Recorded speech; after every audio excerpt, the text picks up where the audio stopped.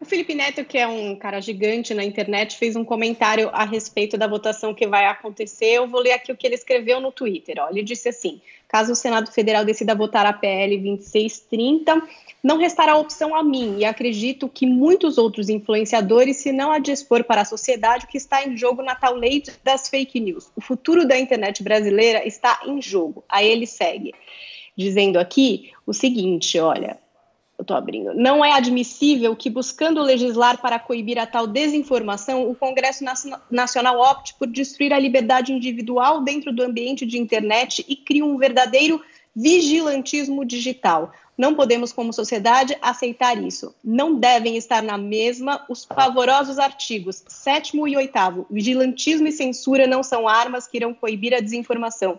Criminosos conseguirão driblar com extrema facilidade tais normas. Somente a parte inocente da sociedade civil será impactada de fato por tais artigos. Queria que o senhor comentasse o que disse aqui o Felipe Neto.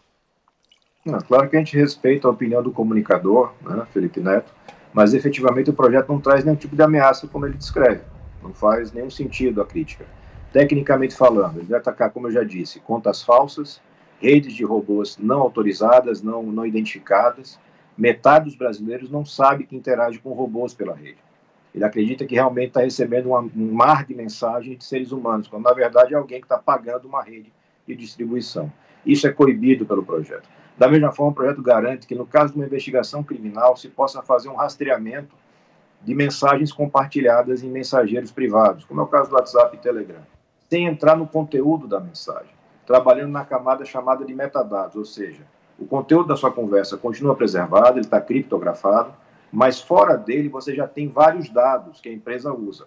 Passa a ter que usar também um, um caminho de rastreamento, para garantir que você não tenha impunidade.